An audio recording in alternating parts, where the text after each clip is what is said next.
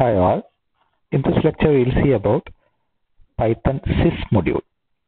So Python sys module is used to manipulate the Python uh, runtime environment. So we will see there are some methods and variables to access the runtime variable, runtime environment of Python. So we will see some of the methods and all. So here we have to import sys like you have seen OS module. We have to import sys here. Now if you the first uh, method is exit sys.exit method is there. So sys.exit method is actually it is a function used to terminate the program when it is needed. So if you want to terminate the program, you can use this sys.exit. So this is used in during exception handling and all.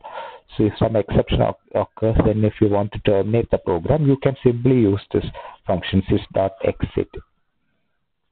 So we'll uh, run this program. So if you print this, you can print this. After that, if you are exiting this, this print I am fine will not be printed.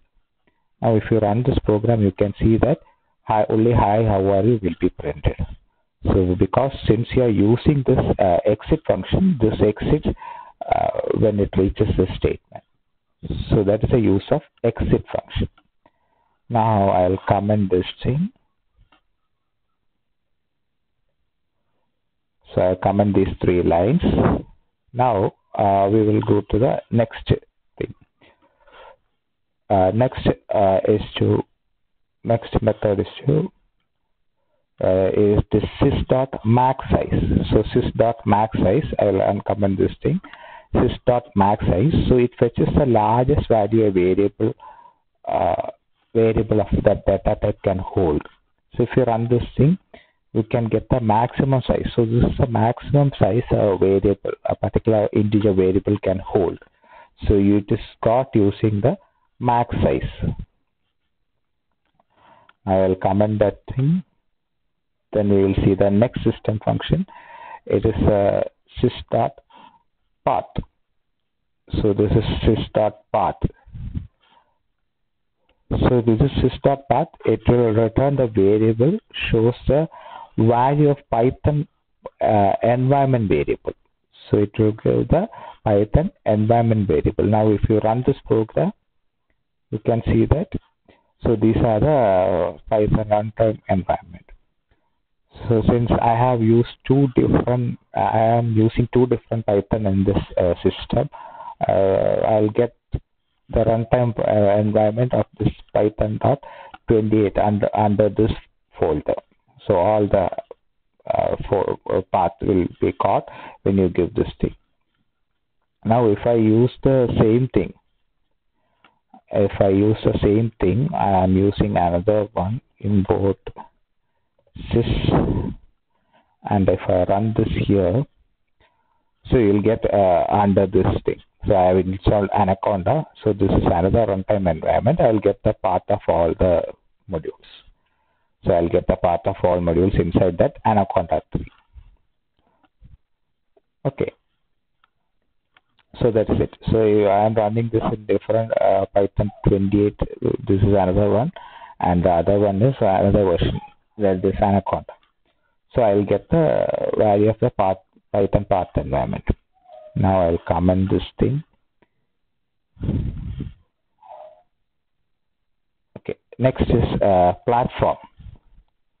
So next is print dot uh, print of sys dot platform.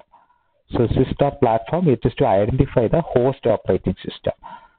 If you want to identify the host operating system, you can simply type as and you will get Win32. So this is actually a Windows system. So if you are using Mac, it will give Mac. If you are using Linux, it will give return your Linux and all. So it is to identify the uh, host operating system. So next one is uh, executable. So it specifies a path of uh, Python executable files. So if you give this thing, you run this thing, you can find out all the executable files. So this is the executable file of Python of executable file of Python in this inside this folder. So if you run the same thing, if you run the same thing in the other thing, you can find out you will get an uh, different answer. So you'll get it as python.exe. So it is uh, inside this Anaconda 3. Okay. Then next is uh, print.sys modules. So it is uh, it, it gives a returns a list of available modules. So if you run this thing, so it will return all the list of available modules. So it has queues. Now if you click this thing, you can get the whole thing inside that which all modules are executable. So all the executable files will be listed here. So all the executable files will be listed here. So if you use start modules, it will, uh, sorry, not the executable, so it lists the uh, available modules inside the sys. Then the next is copyright. So it gives a copyright of the system Python. So if you run this thing, you'll get all the copyrights of this Python software. So there are uh, four copyrights available. One is Python Software Foundation, then is BeOpen, then Corporation of National Research Institutes, and then the Stichting Mathematics Amsterdam. So that is sys dot uh, copyright. Then uh, another important variable we use, another important uh, command we use is uh, using argv arguments. So this gives a list which shows a command line arguments. Okay, so uh, this is actually it prints a uh, different arguments. So if we give IARG, so it is mainly used when we do some command line input and all. So if you are familiar with C, C++, Java and all, you will be using command line arguments. So I will run the same program in this uh, environment. So so here I'll be I'll be simply running the same program. You know how to run this in command prompt. So I'll be typing Python and the file name is test1.py. So if you run this program, uh, you won't get, you will get an error since you have asked to print four arguments, uh, three arguments, four arguments. So I'll simply print. So you have to give at least four arguments. So if you are giving some uh, command lines here, so if I'm giving Jacob space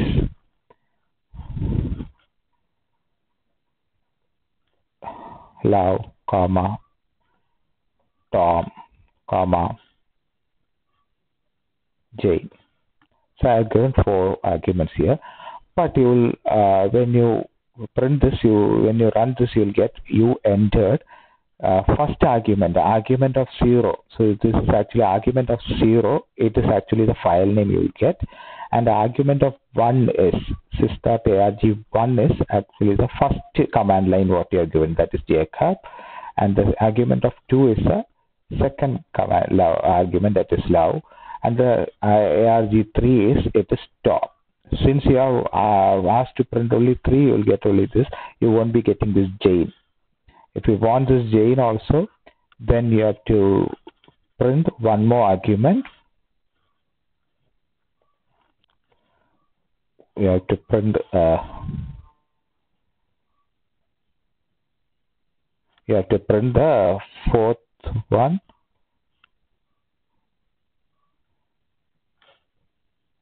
Okay. Now if you run the same program, you run the pro, uh, same program with four arguments, then the uh, whole arguments will be printed. So this is needed when you want to find which all command line arguments you have passed. Uh, you require require this thing. So in order to find the arguments, so you have to use sys argv dot uh, zero. Even in for loop, you can do this by simply uh, taking one by one. So here the first zeroth argument will be the file name, the actual file name. After Python, you will be entering the file name.